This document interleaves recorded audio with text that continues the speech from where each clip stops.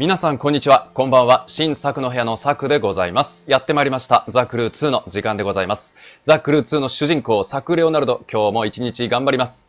はい。というわけで、ザ・クルー2なんですけども、今、いろいろな噂が入ってきております。それは、新たにアメリカ本土ではなく、ハワイが追加されるのではないかということですね。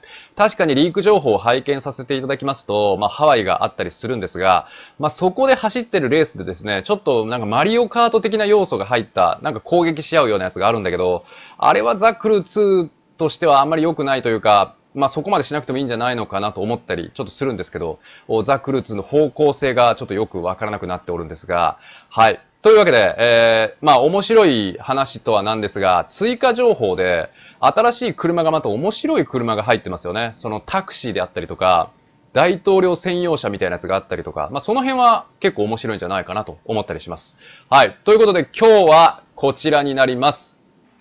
ニューコンテンツということで、コンセプトカーのマセラティアルフィエリが新登場ということで、えーこれ2014年にすごい有名になったやつですね。ジュネーブモーターショーとかで結構有名になったんだけど、このアルフィエリって結局発売されなかったんですよ。えーこちらの車について今日見ていこうと思っております。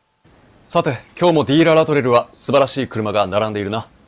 ということで、レオナルドも非常に喜んでおりますが、えー一番手前のこのウィンドウの色合い綺麗ですね。こういう風にパープルに変わるのが結構好きです。えーちなみに私が乗ってるベンツの方は、えー実際にこんな感じの紫色になります。正面から見ると。これ多分太陽光の反射でガラスの素材なのかな？なんかこういう色に見えます。フロントガラスは。はい。これ多分ガラスの素材か透過率かよくわかりませんけども、詳しい方おられましたら教えてください。こんな風になります。えーそして一番奥に止まっておりますマセラティ。これが今日の主役となる車、コンセプトカーのアルフィエリコンセプトと呼ばれる車ですね。向こうからレオナルド歩いてきてるぞ。レオナルドの偽物がこれ。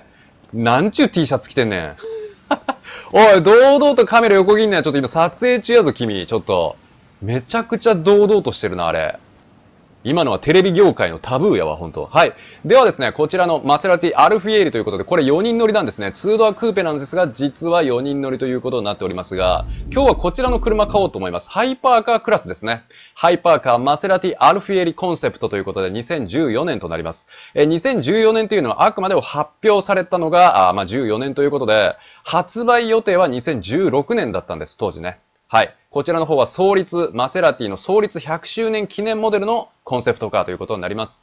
えー61万9359円ということで、これを買ってしまうと残高300万円減ります。しかしながら、サクレオナルドには無限の口座がありますので、いくらでもお金は入ってきます。はい。ではちょっとこちらの方今日買ってですね、エンジン音であったり、内装であったり、えどんなカスタムができるのかというのを皆さんと一緒に見ていこうと思いますので、よろしくお願いいたします。まあ、なかなかね、おいそれと買える金額ではないんで、まあでも、どうかな？安いもんか、61万だったらね。はい。こちらの方今日買ってみたいと思いますが、はい。色がいろいろ選べます。えー、こういった色、コンセプトモデルなので、この色が多分一番多いんじゃないかと思いますが、白も綺麗ですよね。白ね。マセラティは白とか黒とかかっこいいよね。黒、こんな感じです。ただ、ブレーキキャリパーが青色なんですよ。ただその青色を活かすには、どのカラーリングすればいいかというと、多分こういう色の方がいいんですよね。で、私最初、このマセラティが追加されますよって聞いたときは、おそらく、あ、ついに来たか MC20、MC20 ね。あの2650万円から意外とリーズナブルで注文が殺到していると呼ばれている、あの車が追加されたんじゃないかと思って、蓋を開けたらコンセプトカーでした。はい。まあそんなことはどうでもいいんです。今から61万9359円、レオナルドがキャッシュで払います。はい。これでマセラティのマシンを所有するというなんかよくわからないこれがクリアになって、はい。購入した瞬間雨。これが雨男、作家の伝統だ。レオナルドめっちゃ濡れてるわ。家に帰ったら雨が止むんですよ。晴れてくるんですよね。はい。ではカスタマイズの画面からちょっと一旦見ていきたいと思いますが、こんな感じになります。マセラティアルフィエリということでね、えーマセラティの創立100周年を記念したコンセプトカーということになります。えーどことなくまあ 3500GT であったり 5000GT であったり、まあインディに似てるかなという感じなんですけども、実際それをオマージュして作られたと。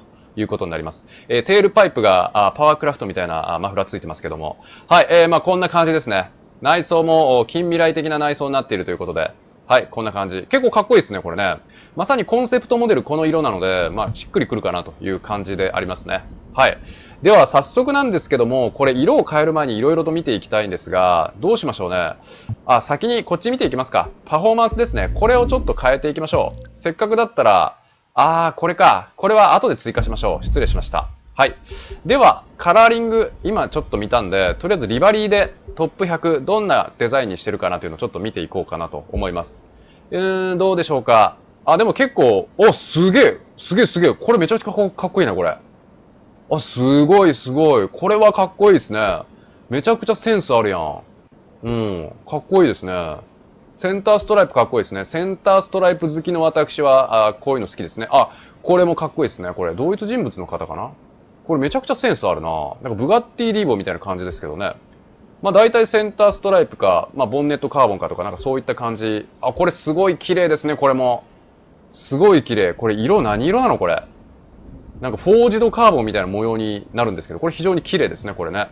ザ高級車みたいな感じですけども。はい。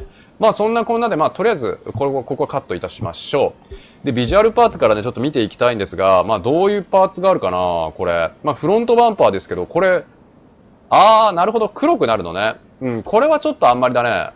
ただこれ3番どこが変わってるのかちょっとよくわかんないんですけど、3番と2番の違いってどこ、どこでしょうかこれ。フェンダーかな？フェンダー？いや、ちょっと待って、これわからんね。わからんね。なんとなく違う気がするけど、なんか個人的には3の方が好きかなという感じがあるんで、3にしましょう。何が違うん？これ、何が違うん？あの、フェンダーのエアインテークがカーボンになるのかなこれ。そういう感じですよね。一応これにしてみましょうか。なんかちょっと変化はつけたいかなっていう感じがあるんで。はい。リムはね、もうこれでいいでしょう。これね、これかっこいいですよね。青色を活かしたいですよね。で、ブレーキキャリバーもこのまま、はい、青色から変わってしまうんですね。これいつもこうなんですよ。いつも変わってしまうんですよね、これね。どの青色がついてました？これぐらいか。多分そうですね。はい。で、えー、とりあえず、このまま進んでいきますけども、どうしようかな。フロント、えー、ミラーなんですけど、ミラーは、あ、これはじゃあ、カーボンミラーにしておきましょうか。うん。ただ、ボディのね、リアフェンダー、サイドスカートはないのか。はい。これも、ああ、ここでカーボンパッケージみたいになるんだね。はいはいはいはい。じゃあこれは2番にした方がいい。あと、リアフェンダーのマセラティのマークがカーボンになるのかな？これちょっとよくわかんないんですけども、とりあえずこんな感じで。うん、いい感じです。かっこいいです。さあ、リアバンパーですね。これは結構ウイングなんかつくんじゃないのかな？あ、ウイングつかなさそうですね、これ。はい。これはどれがかっこいいかな？マセラティはでもテールレンズは赤色にしておきたい個人的なあれがあるんですよ。うーん、でもやっぱり1番の方がいいね。これの方が多分かっこいいですよね。このままでいいでしょう。内装は私これちょっと黄色のステッチなんか入れたりしようかなと思ったんだけどさ。あ、すごい。これシートにこんなゴールドの生地があるんだね。てかめっちゃ内装かっこよくない？すっげえ。内装めちゃくちゃかっこいいやん。いやもうこれなんかこれ、こういう色合いにしたらもうなんかパガーニみたいなこれブガッティとかさ。え、これ内装いじらなくていいやん。これめちゃくちゃかっこいいわ、これで。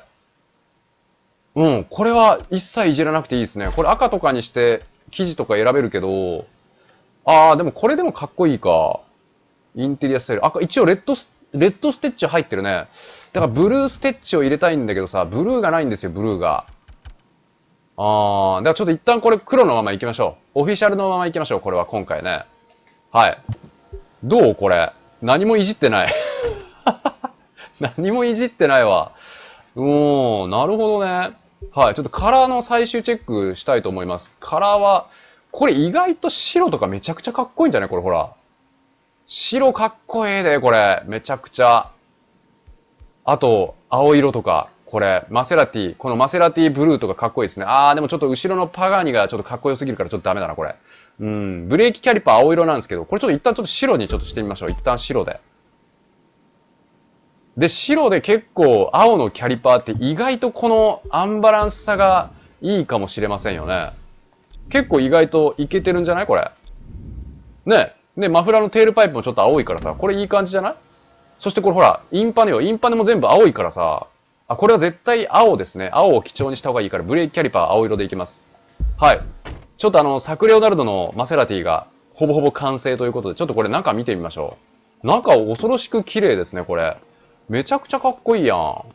これってさ、実際に発売されたらいくらぐらいで取引されるんだろうね、これね。はい。ではちょっとエンジンかけてみます。どんなエンジン音なのか、後で街中の走行もしてみたいと思います。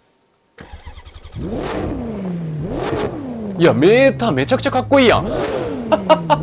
何これ。意味がわからん。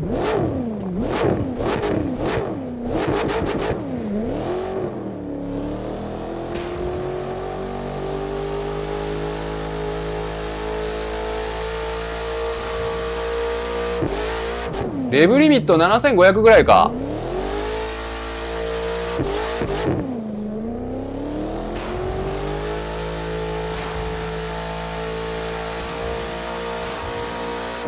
うん、7500回転ぐらいがレブリミットになってますね。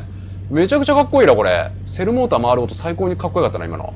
はい。えー、ではこんな感じですね。そして、えー、センターにはこういったね、えー、モニターがついておるということで。うん。かっこいい。これ結構気に入りましたね。うん。これちょっと、み、見ていきましょう。これ。ちょっと外観。ビジュアルじゃなくて、あ、ビジュアルですね。はい。これ、サクレオナルドのマセラティです。えー、マセラティのアルフィエリ、4人乗りでございますが、これすごい精悍な感じがして良くない？これ、ヘッドライトめちゃくちゃシャープでかっこいいですよね、これね。で、ブレーキキャリパーいつもだったら白には赤にするんですけども、これ意外と青色っていうのがかっこいいです。そしてサイド、カーボンがついてるんで。ね、なんかグランクーペみたいな感じがするけど、いいやん、かっこいいやん、これね。はい。リアも美しいですね。うん。どうでしょうか？サクレオナルドのマセラティ・アルフィエリ。ということで、えー、個人的にはですね、やっぱりこの MC20、MC20 っていうのを先に出して欲しかったんですけども、まあ意外といいかなと。はい。まあまさかコンセプトカーが出てくると思わなかったんで、というのもこのコンセプトカーは、ちょっと、まあ、ちょっとした歴史があってですね、一旦ちょっとごめんなさいね。あのー、歴史と言いますか、発売が実際には2016年に発売する予定だったんですが、結局あの、グランカブリオとかなんかその辺の方を優先したので、えー、開発がまあいろいろ事情があって発売できなかったみたいな感じなんですよ。ではまずはこちらのフェラーリ488ピスタからあカスタマイズのパーツをいただきまして、このアルフィエーリ君に付け替えたいと思います。OK、パーツ交換完了だ。はい。ではですね、えー、ちょっとしたネタは走行中に話そうと思います。えー、なんかちょっと若干ジャガー感もあるけど。では、ドライブ行ってみましょう。おー、天気がいいやん。購入した瞬間雨だったけど、納車してカスタムし終わったら晴れになってました。よかったです。はい、こちらが、あサクレオナルドのマセラティアルフィエーリでございます。えー、めちゃくちゃかっこいいですね、これね。おー、マクラーレン P1 がいった。はい。やっぱこう白に青のキャリパー、テールパイプが青色ということでめちゃくちゃかっこいいですね。今日出入り激しいですね。はい、こんな感じです。あれ、今出ていってるのみんなあれですよ。あの、レオナルド邸にいる、あの、家事手伝いの人たちですね。えー、みんな使用人の方です。使用人の方もね、ハイパーカーで通勤しております。かっこいいですね。で、内装の方が、あこんな感じです。はい。これやっぱかっこいいよね、これ。今、何やったんこの手。めっちゃイラついてるみたいな感じしてるやんこれ。おい信号赤早く青になれよみたいな感じでこれね。なんかこんな感じですけど。はい、えー、では今からちょっとドライブしたいと思います。かっこいいやんこれ。好きやな。これちょっと発売してほしいな。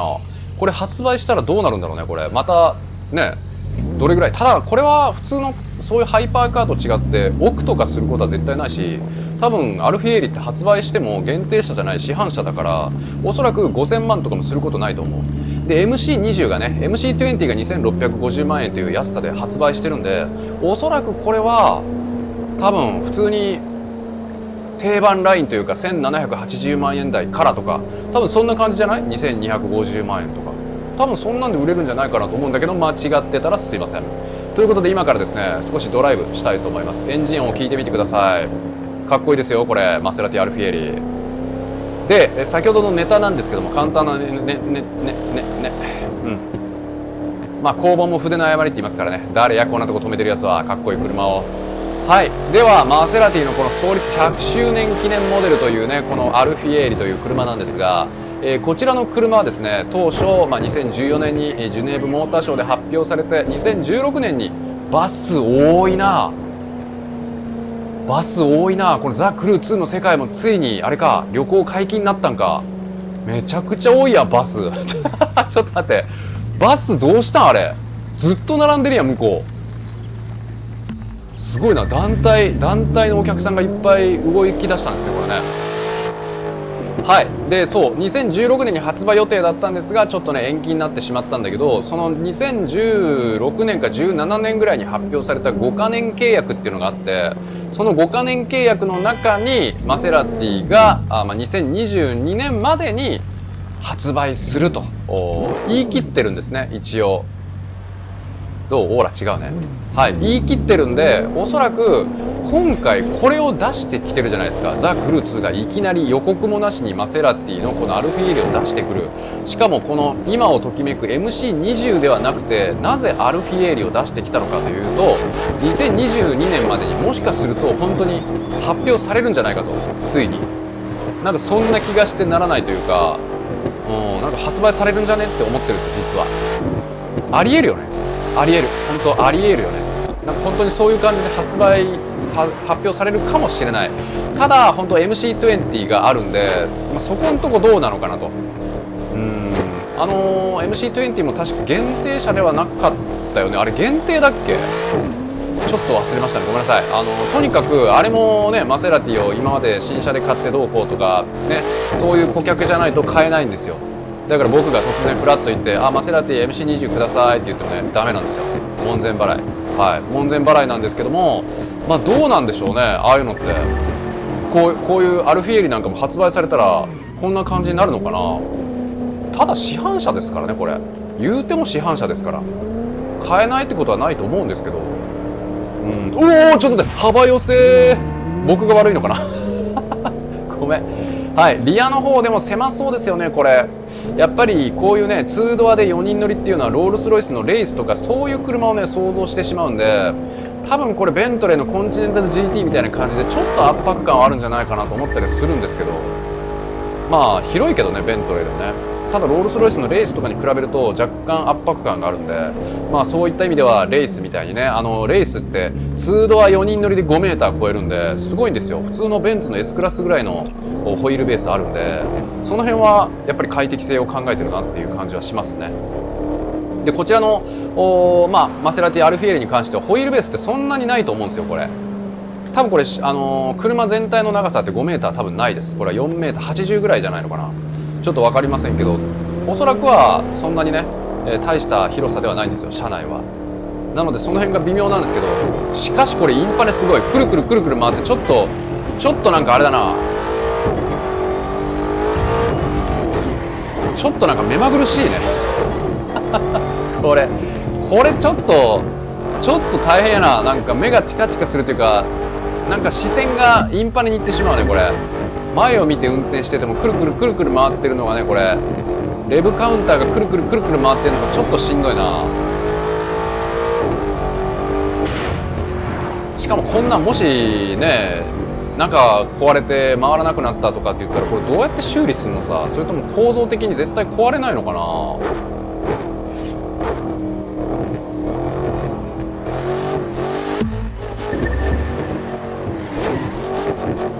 エンジン音に関しては非常にいいですね。まあ誰もエンジン音聞いたことがないんで本当にこのエンジン音なのかっていう感じはするんだけど。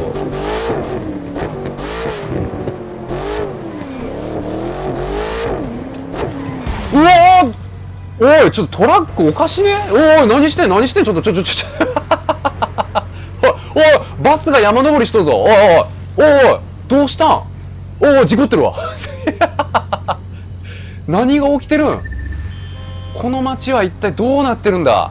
おおやばいぞ。やばいぞ。やばいぞ。大丈夫かこれ？おおおおおいおいおい。えちょ何が起きてるの？このアメリカの街は。どどどうしたん？バス突っ込んでいったけど。はい。まあとにかくおお急に出てくるしこれ。どうしたん？どうしたん？今日ちょっとバグってるなこれ。恐ろしいな。ちょっと早く家帰ろう。ちょっと事故ったし。事故ったけど傷は浅いな。よかったよかった。何が起きてるの？これ今日。どうしたん？どうしたんこれ？今日怖いね。いやでも本当にあのー、何の話してたかこれエンジンをなんかブガッティと使い回しのような気するんだけど気のせいよこれ。なんかブガッティシロンのエンジン音を少し軽くしたみたいな感じの音がするんだけど。なんかなんかちょっと違和感があるんだけどこれよこのインパネこんな感じなんだね。ただ本当に近未来的でこのブルーがめちゃくちゃかっこいいんですごいあの内装はもう満点と言っていいほどかっこいいんですよこれ内装。そしてシートにはゴールドのラインが入ってたじゃないですか。でこれステアリングにもほらフェラーリのスペシャルオーダーでいうドリームラインみたいな感じでさこれラインが入ってるのが非常にかっこいいやん。これ非常にかっこいいからいいんだけどいいんだけどなぜか知らんけどこれあのー、このレブカウンターとかがあとスピードメーターがくるくる回るのがちょっと私落ち着かんななんか落ち着かんね皆さんお疲れ様でした。サクの部屋に帰ってまいりました。お帰りなさい。はい。ではですね、ちょっと忘れてたことをやります。ヘッドライト。これつけてみましょう。あー、すごいかっこいいですね。でも、個人的に私、マセラティで一番好きかも、これ。めちゃくちゃかっこいいわ。その次、MC20 とか結構好きなんだけど、これドアも普通にね、横開きなんで、あこれ、テールライプもね、あ、テールランプもね、あの、線が入ったみたいな感じで、これも結構おしゃれな感じですよね。うん。結構好きかな。で、今回、先ほど申し上げましたけど、この内装が結構好きなんですよ。ベントレーのマリナーバカラルみたいな感じ？マリナーバカラルよりも、あれかな、ちょっと色合いは、あれだけど、この黒と白と青とゴールドのラインですね。このシートの端のゴールド。これ非常にかっこいいなと思います。これ後ろにも座れるようになってほしいね。ただ後ろほんと狭そうですね、これね。4人乗りという名のほぼほぼ2人乗りみたいな感じですけども。で、これシートのヘッドレストとかにはマセラティのロゴとか入ってませんか？そこまでちょっと見えないかな。ちょっとそこまで見えないんですけども、今日はこちらのね、えー、マセラティのアルフィエーリという車をね、ご紹介させていただきました。一体どんなエンジン音なのかというのと、まあ、どんなカスタムができるのかというのを確認しました。えインパネ、あんな動きをするとは思いませんでした。正直結構驚いてます。はい。ということで、えー、こんな感じで新しい車が追加されたら、レオナルド必ず買います。ハイパーカー、ストリートカーであれば必ず買います。ラリーとかはちょっとわかりません。はい。で、こういった車をね、ご紹介できればと思います。そしてハワイの情報ですね。また正式に決まれば、ぜひね、えー、まあ、コメントとかで最新情報を教えていただければと思います。そして、えー、私事ながら昨日から YouTube のコミュニティ始めるようにしましたんで、えー、コミュニティでまた色々つぶやいていきたいなと思いますので、今後ともどうぞよろしくお願いいたします。それでは皆さん、本日もご視聴ありがとうございました。新作の部屋のサクと、ハリウッドスターよりもかっこいい男、サク・レオナルドだ。ああ、これでハリウッド映画には呼ばれないですね。へへ。